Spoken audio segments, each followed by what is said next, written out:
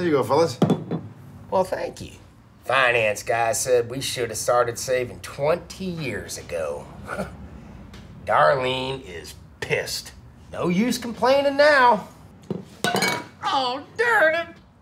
I'm sorry, Bill. There's no use crying over spilled milk. So don't stash. Start investing with just $5. Bartender, you bring us a towel.